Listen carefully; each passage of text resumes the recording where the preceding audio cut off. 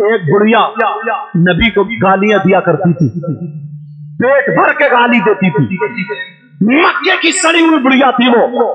और से कहने लगी वो बुढ़िया तुम क्यों इतना बुरा भला कहती है? कहा देख नहीं रहे कितने ईमान ले आए? औरों से कहती थी, तुम भी मोहम्मद का चेहरा मत देखियो। एक औरत ने कहा, अगर तुमने देख लिया ना तो तुम भी कलमा पढ़ लोगी। बुढ़िया बोली, मैं रहूँगी नहीं अब।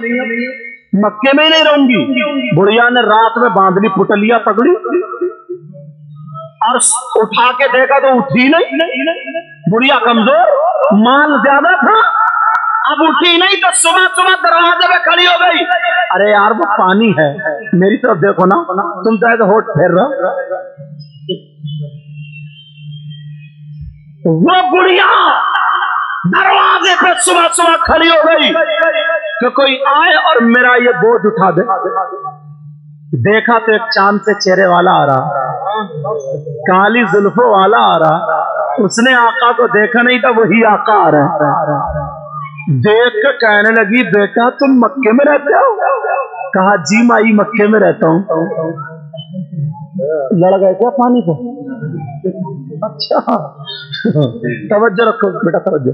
कहा, बेटा इतने अच्छे लोग भी मक्के में रहते हैं। तुम कहाँ रहते थे? तुम ऐसे हो तो तुम्हारी माँ कैसी होगी? तुम्हारा बाप कैसा होगा? अल्लाह। बेटा, बात मत करो, बेटा आराम से कहा? तुम्हारा बाप कैसा होगा? कमाई काम बताओ। कहा, बेटा, मेरा वो बोझ है, वो उठवा दोगे? नबी बोले ना तो आए इसीलिए गए। और जा करके देखा तो वो जब बोझ उठाया तो वज़न तो बहुत था, मगर नबी के सामने क्या हैसियत? नबी ने उठा लिया और बुढ़िया को देखा, बुढ़िया कमज़ोर। कहा, माई अगर रख दिया तो बचोगी नहीं सरफ रख दिया पिछक जाओगी। कहा, माई सुनो अगर इजाज़त हो तो मैं अपने सर पे रख लूँ। तुम कमज़ोर हो, बहुत ज़्यादा। जहाँ कहोगी, वहाँ छोड़ के आ जाऊँगा। कहा, बेटा, रख ले। और रखने के बाद कहा, बेटा, इतने अच्छे मक्के में लोग हैं, इतने शरीफ और एक वो मोहम्मद नाम का मेरे आका को गाली देना शुरू कर दी।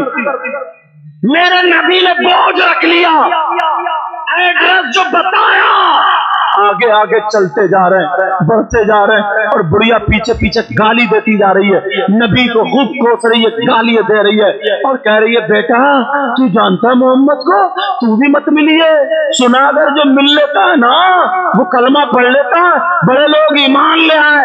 मेरे नबी गाली सुनते जा रहे हैं, चलते चले जा रहे हैं, सुनते जा रहे हैं, चलते चले जा रहे हैं। वहाँ पहुँच गए। जहाँ पर पता बताया था तो मेरे नबी ने बोझ उतार रख दिया। कहा माई लो अब मैं चल रहा हूँ। बुढ़िया बोले, नहीं, मक्के की रहने वाली हूँ। बेटा, मैं तुझे मजदूरी दूँगी, ऐसे जाने नहीं दूँगी। कहा, माई, मजदूरी नहीं लेता।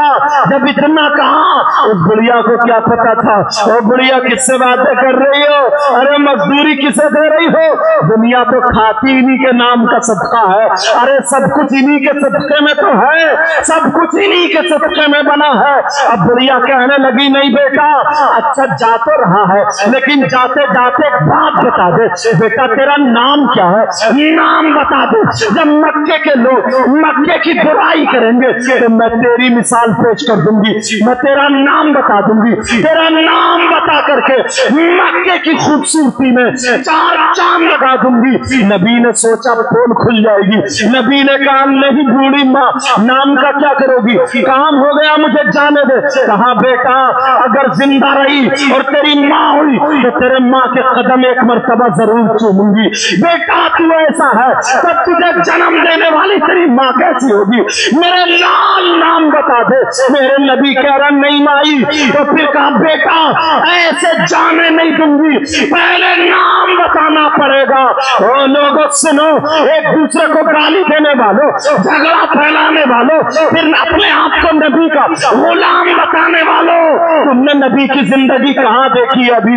मेरे नबी ने फरमाया, ओ माई, अरे को वहाँ से यहाँ तक गाली देती हुई चली आई हो।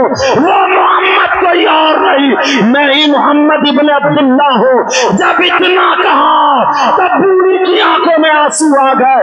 और कहने लगी, देखा, जो मैंने कानों सुना था, वो गलत था। कान खोल के सुनना देखा, अगर तू ही मोहम्मद है तो मैं कहती जब तू तो पैगंबर है। बेटा, बाद में जाना।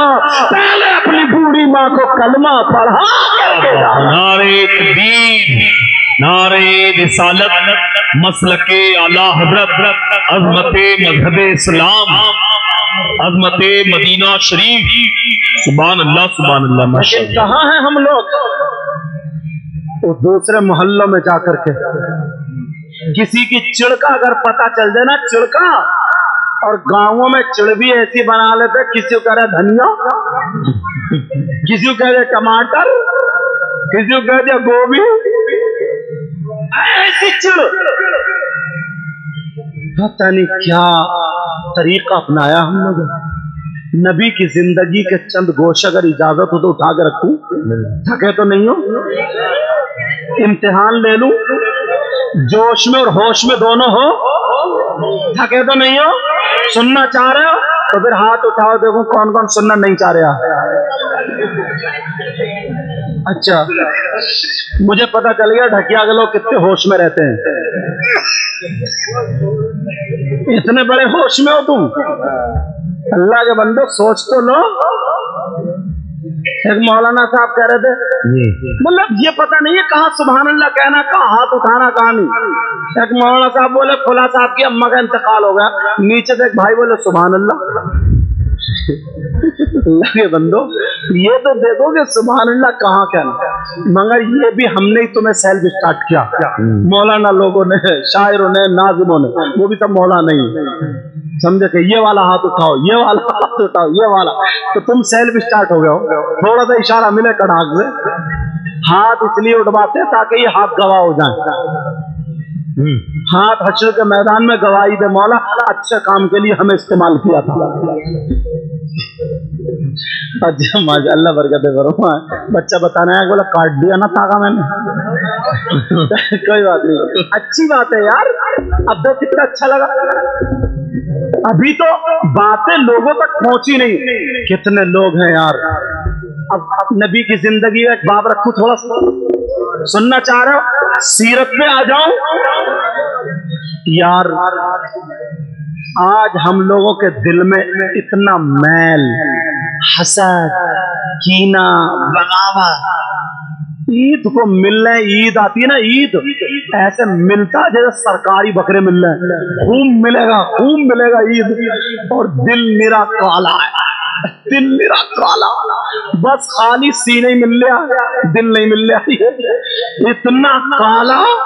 अल्लाह माँ फरमा, अल्लाह माँ फरमा। अब नमाज़ काम क्यों नहीं आ रही बताऊ?